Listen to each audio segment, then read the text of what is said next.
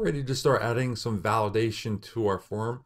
So what we're going to do is we're going to make these three fields required. If they're not filled out, this form is not going to be valid. And to help us do that, we're going to be using the validators class that Angular gives us. And when you use this validators class, you have access to all these basic form validation methods. And the one we're going to be using in this video is the required. So we'll use this required method on all three of those controls.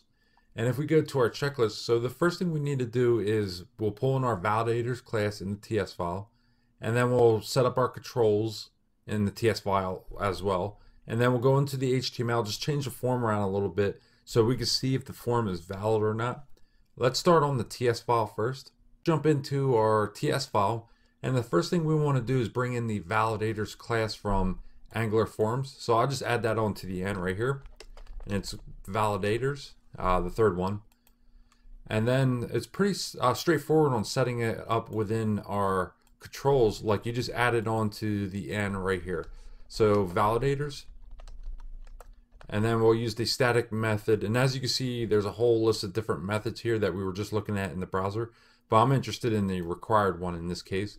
And I'll go ahead and add that to the three fields. So copy this and paste it in your password and also your confirmed password. So all three of these fields are going to be required now.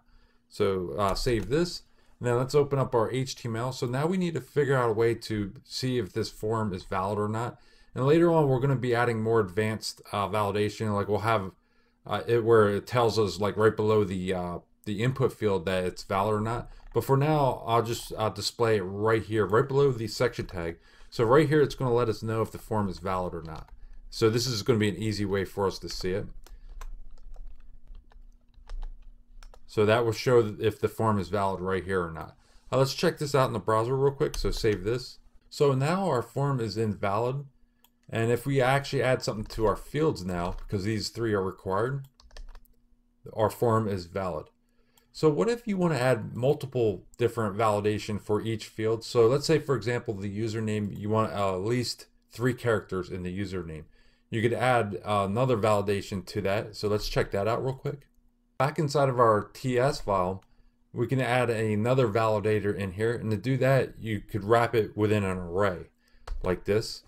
And then on the end here, you just add as many validators as you want. So I'll add in the min length. So validators min length.